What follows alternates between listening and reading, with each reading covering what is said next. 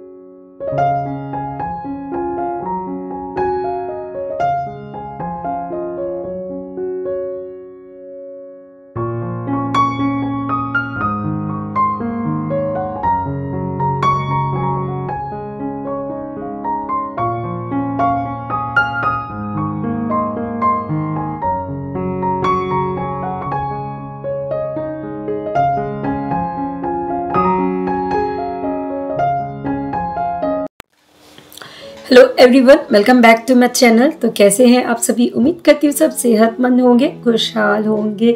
तो आज जो है ना बच्चों का ब्रेकफास्ट में बना रही थी। स्कूल का सुबह सुबह का टाइम था ये। और मॉर्निंग के, उनके लंच के लिए मैंने जो है ना बनाई है यहाँ पे इडली और सांभर। इडली, सांभर मैं उन्हें दे रही हूँ बॉक्स के लिए और स्मॉल ब्रेक के लिए जो है ना फ्रूट में पपाया बच्चे जो है ना अभी शॉवर एंड ऑल ले रहे हैं और मैंने यहाँ पे जो है इडली स्टीम करने रख दी। साइड बाय साइड मैंने जो है ना दाल भी बॉईल कर ली थी। तो फ़िलहाल जो है ना रेसिपी शेयर नहीं कर रही हूँ इडली सांभर की। जस्ट इडली सांभर बना रही हूँ तो वही आपके साथ शेयर कर रही हूँ। इनकेस अगर आपको जो है डिटेल रेसिपी चाहिए ना इडली सांभर की तो मुझे प्लीज़ आप कमेंट करिएगा। मैं डेफिनेटली आपके साथ जो है ना शेयर करूँगी डिटेल वाली रेसिपी और आज जो है ना मेरी सिस्टर इन लॉ राखी दीदी आने वाली ही रायगढ़ से। उनका जो है ना मेडिकल चेकअप है। तीन महीने में उन्हें डॉक्टर ने जो ना विज़िट के लिए यहाँ पे बुलाया था। तो हस्बैंड जो है ना गए हुए रेलवे स्टेशन दीदी को लेने के लिए और मैं यहाँ पे जो है ना बच्चों का लंच प्रिपेयर कर रही हूँ। आशु के स्कूल आवर्स जो है ना अभी बढ़ गए हैं। आशीष का स्कूल जो है ना morning eight thirty to evening five o'clock तक हो रहा है because he is in tenth standard so उनके जो है ना स्टडी ड्यूरेशन बढ़ा दिए गए। तो उसके लिए मैं जो है ना दो बॉक्स पैक कर रही हूँ यहाँ पे सो दैट यू नो थोड़ा सा फिलिंग हो पूरे दिन के हिसाब से। और बस बच्चों का जो है ना लंच बॉक्स मैंने प्रिपेयर कर दिया और अब उन्हें जो है ना स्कूल छोड़ने के लिए निकलूँगी। बिकॉज़ हस्बैंड गए हुए रेलवे स्टेशन तो मुझे ही बच्चों को जो है ना ड्रॉप करने स्कूल अभी जाना है। back to my channel. Said bye, I'm going to school. Welcome back to my channel.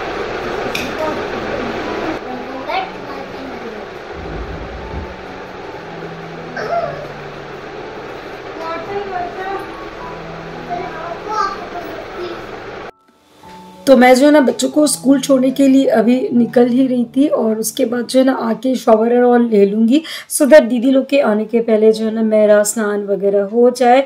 और बस यहाँ पे मैं बच्चों को स्कूल छोड़ के और वापस घर आ चुकी हूँ। और बस थोड़ी सी जो ना डस्टिंग कर दूँगी हल्की फुल्की सी सो दैट जो है मेरी मेट झाड़ू पोछा वगैरह लगा ले जब तक दीदी लोग आए तब तक। और उसके बाद जो है ना मैं चली शॉवर लेने।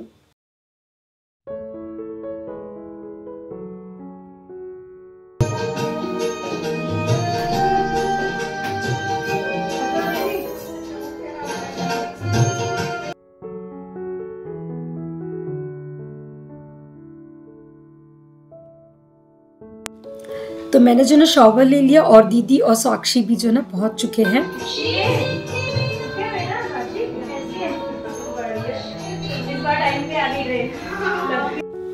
और आज जो है ना लकीली उनकी ट्रेन एकदम ऑन टाइम पहुँच गई। अदरवाइज़ जो ये ट्रेन है ना, काफ़ी टाइम से डिले चल रही है। बट आते समय भी, जाते समय भी, दोनों समय पे जो ना दीदी की टाइम जो ट्रेन जो है ना बिल्कुल टाइम पे थी। थ्री डेज़ के लिए दीदी आई हुई थी तो थ्री डेज़ जो है ना हमने भरपूर शॉपिंग की। बिल्कुल तीनों दिन जो है ना हम कहीं कहीं कहीं कहीं शॉपिंग पे गए थे। मैं आपके साथ आगे वीडियो में शेयर करती हूँ। तो यहाँ पे जो ना मैंने पानी दे दिया दीदी को हस्बैंड को, साक्षी को, और दीदी को बिल्कुल जो ना ब्रेकफास्ट वगैरह नहीं खाना था बिकॉज़ उन्हें जो ना एम्प्टी स्टमक ही हॉस्पिटल जाना था। उनके कुछ चेकअप होने थे एम्प्टी स्टमक के। तो दीदी ने तो कुछ नहीं लिया। मैंने साक्षी और हस्बैंड को जो ना बाद में ब्रेकफास्ट सर्व कर दिया। और यहाँ पे बैठ के जो हम थोड़ी देर गप्पे मार रहे थे, थोड़ी देर यू नो गपशप कर रहे थे कुछ कुछ यू नो फैमिली की बातें वगैरह डिस्कशन वगैरह, क्योंकि हमारे घर में जो है ना शादी है अभी आठ जुलाई को तो उसी की जो है ना, हम लोग प्लानिंग वगैरह कर रहे थे कि कहाँ जाएँगे शॉपिंग करने कुछ कुछ हमें खरीदना था तो वो सब। तो दीदी और साक्षी दोनों जो ना शॉवर ले चुकी है दोनों ने और हस्बैंड को और साक्षी को जो ना, मैं ब्रेकफास्ट सर्व कर रही थी। दीदी को तो कुछ खाना नहीं था, वो बाद में हॉस्पिटल से आके जो ना कुछ भी खा सकती है बट फ़िलहाल उन्हें एम्प्टी स्टमक ही हॉस्पिटल जाना था।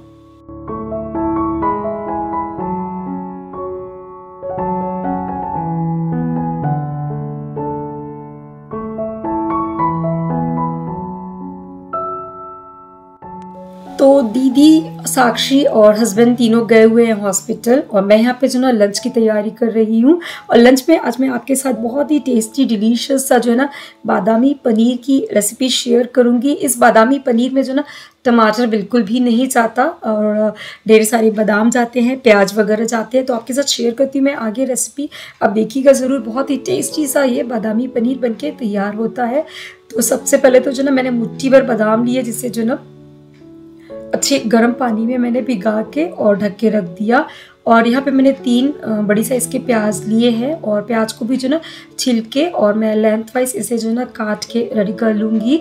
इसमें टमाटर बिल्कुल भी नहीं जाता, सिर्फ़ प्याज ही जाएगा।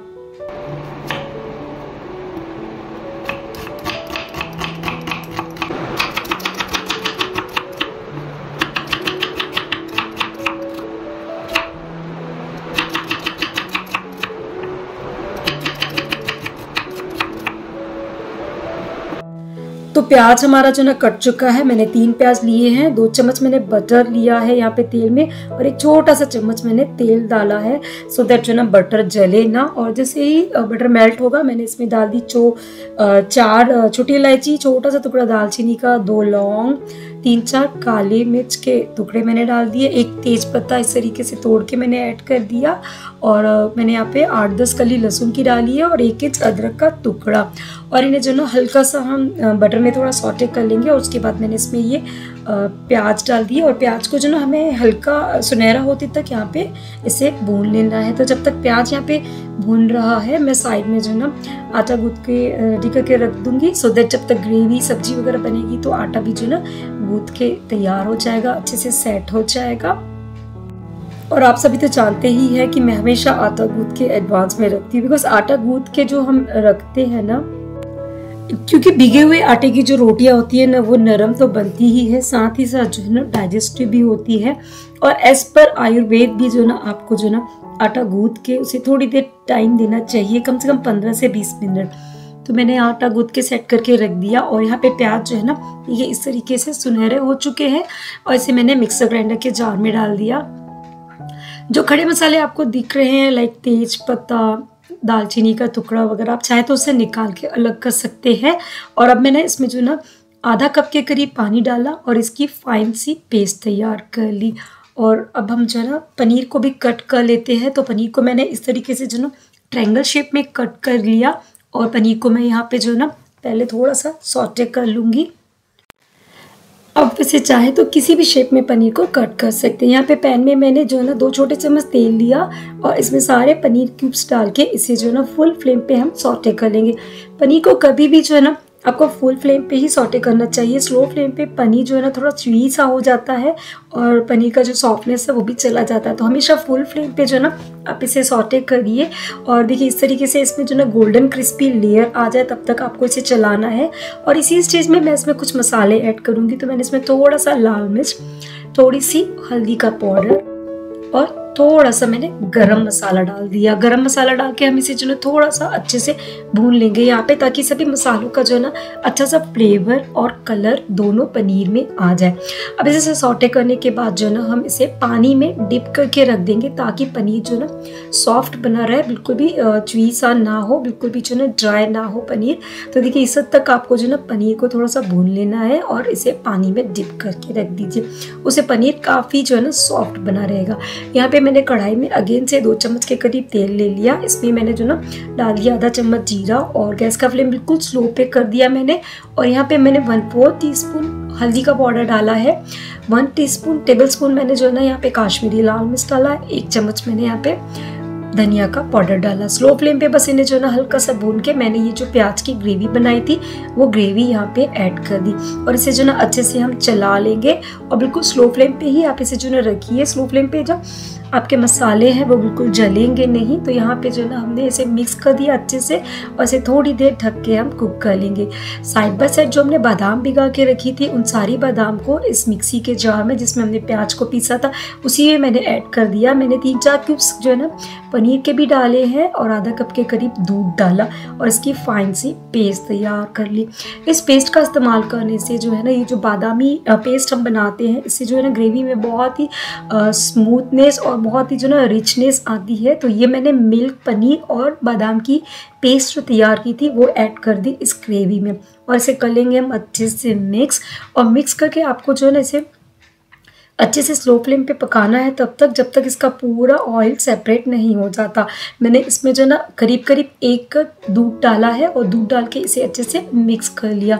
इस ग्रेवी का जो टेक्सचर और टेस्ट है ना, बहुत ही क्रीमी और रिच सा जो है ना फ्लेवर आता है बिकॉज़ हमने इसमें ढेरों सारी बादाम डाली है और दूध डाला है। और इस ग्रेवी में मैंने अभी तक जो है ना नमक ऐड नहीं किया था तो अब इसी स्टेज में मैं इसमें डालूँगी नमक स्वाद अनुसार और आधा छोटा चम्मच मैं इसमें डालूँगी शक्कर। शक्कर से जो है ना, सभी मसालों का एक बैलेंस्ड टेस्ट आता है तो आधा चम्मच आप शक्कर ज़रूर से ऐड कीजिए। यहाँ पे एक चम्मच मैंने कसूरी मेथी को जो है ना तड़का पैन में ड्राई रोस्ट कर लिया और इस तरीके से क्रश करके इसमें ऐड कर दिया।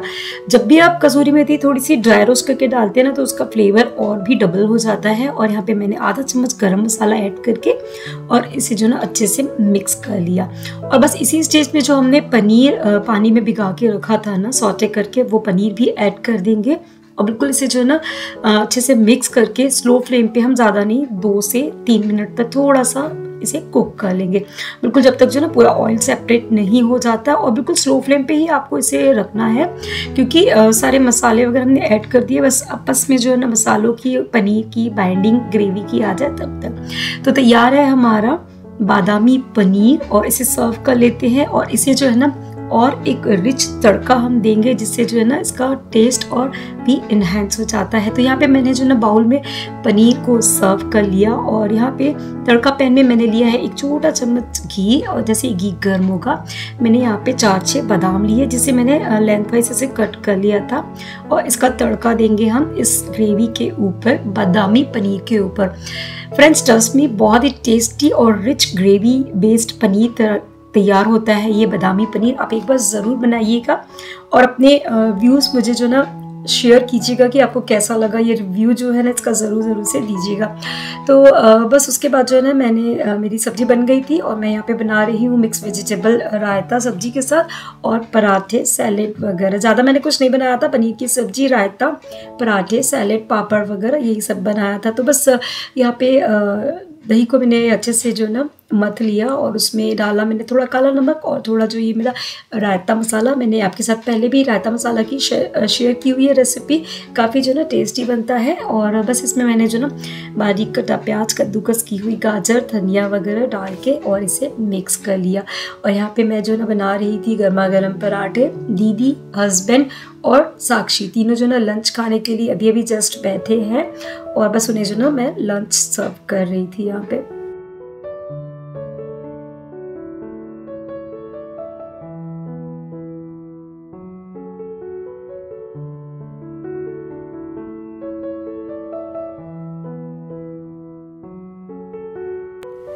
और लंच खा के हम जो है ना चले गए थे। आज डे वन पे हम गए लाइफस्टाइल फ़र्स्ट डे पे। और चामिना डी मार्ट तीनों दिन जो है ना हम कहीं ना कहीं गए थे। फ़र्स्ट डे हमने जो ना शुरुआत की थी लाइफ से। लाइफ में काफ़ी अच्छे डिस्काउंट एंड ऑफ़र स्टार्ट हो चुके हैं।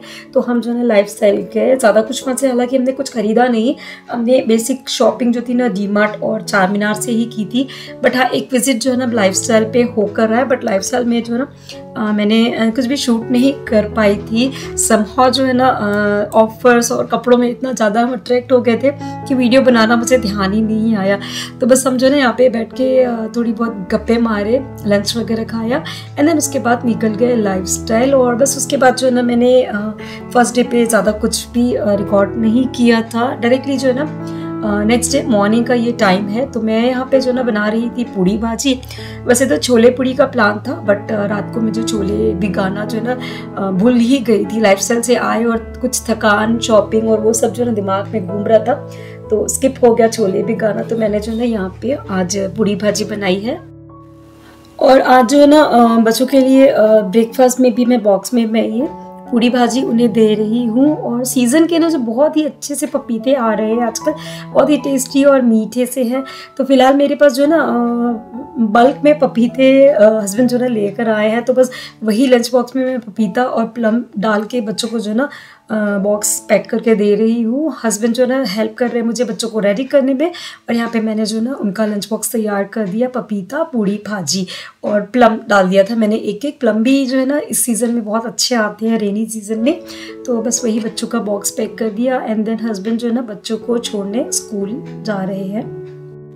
फ़िलहाल क्योंकि मैं बेसिक चीज़ें ही बना रही हूँ बच्चों के लंच बॉक्स के लिए तो इसलिए मैंने जो है ना कोई भी लंच बॉक्स रेसिपी आपके साथ शेयर नहीं की बट बहुत जल्दी मैं आपके साथ जो है ना टेस्टी टेस्टी हेल्दी हेल्दी वाली लंच बॉक्स रेसिपी शेयर ज़रूर ज़रूर से करूँगी। और ये वही वाले लंच बॉक्स है जो कि मैं डीमार्ट से लेकर आई थी। काफ़ी अच्छे हैं कॉम्पैक्ट है। अगर आपको चाहिए तो आप मुझे बताइएगा। मैं अमेज़ोन से इसका जो ना लिंक आपके साथ शेयर करूँगी। वैसे अमेज़ोन के कंपेरेटिवली मुझे डी मार्ट में ये रिजनेबल प्राइस में मिले थे। तो बस इसके बाद जो है ना हस्बैंड बच्चों को छोड़ने गए और दीदी, मैं और हम सब जो है ना बैठ के फिर गप्पे मार रहे थे हॉल में।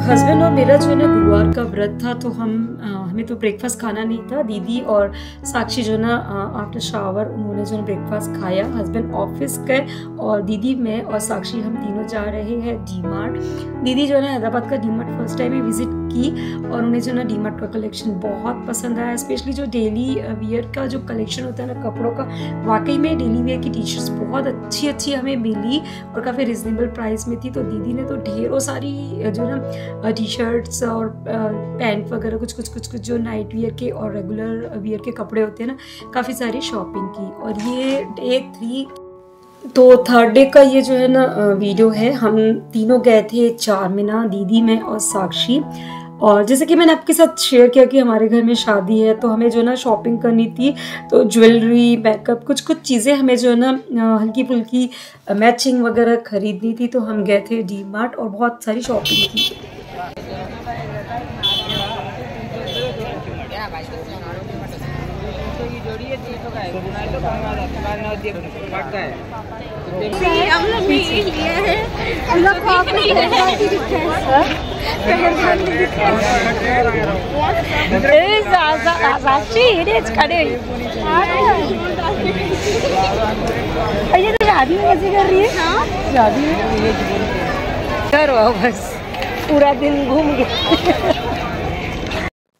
और चार मीनार से ना हमने जो है ना काफ़ी सारी शॉपिंग की बैंगल्स खरीदे, कुछ सेट खरीदे और कुछ कुछ घर की यू नो चीज़ें खरीदी और बस घर वापस आ गए।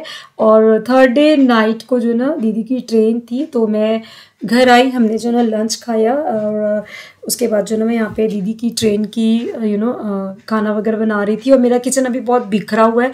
सो प्लीज़ ध्यान मत दीजिएगा, मेरी जो ना आज मेड नहीं आई थी तो मैं ज़्यादा कुछ क्लीनिंग वगैरह नहीं कर पाई। बेसिक मैंने झाड़ू लगा के बर्तन साफ़ कर दिए थे तो किचन जो है ना बहुत ज़्यादा अपसेट है सो प्लीज़ इग्नोर इट वैसे मैं जो ना यहाँ पे बेसन की चेरी कोकी बोलते हैं, बेसन की हमारी नमकीन कोकी होती है, वो और गेहूँ के आटे की मीठी कोकी बना रही थी दीदी के ट्रैवल के लिए।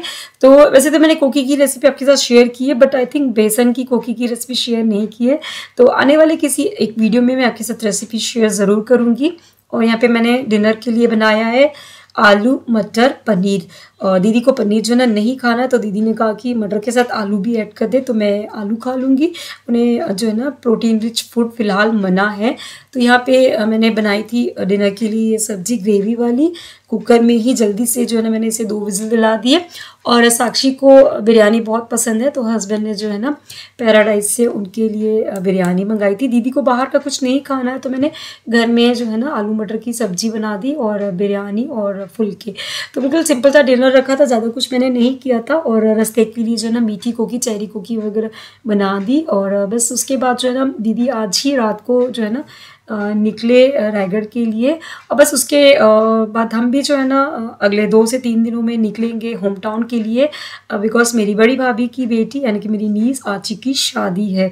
तो आपके साथ जो है ना नेक्स्ट वन वीक तो शायद मैं ब्लॉग शेयर ना कर पाऊँ, लेकिन उसके बाद जो है ना, ढेरों सारी शादी के ब्लॉग्स आपके साथ शेयर करूँगी। और फ़िलहाल भी मैं जो ना, बहुत ज़्यादा बिज़ी चल रही हूँ, शादी की शॉपिंग तैयारी एंड ऑल दोस्त में तो इसलिए जो ना, आपके साथ ब्लॉग शेयर नहीं कर पा रही। तो फ्रेंड्स ये था आज का ब्लॉग आई होप आपको ये ब्लॉग पसंद आया होगा। वीडियो में कुछ भी अच्छा लगा हो तो प्लीज़ वीडियो को लाइक ज़रूर करिएगा। चैनल पर पहली दफ़ा है तो प्लीज़ चैनल को सब्सक्राइब ज़रूर करिएगा। तो दीदी और साक्षी चले गए तो बाय टू ऑल